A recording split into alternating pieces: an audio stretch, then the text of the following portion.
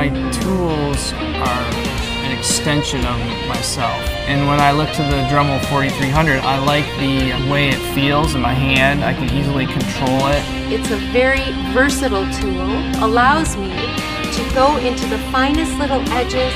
I'm able to use the Dremel as a drawing tool.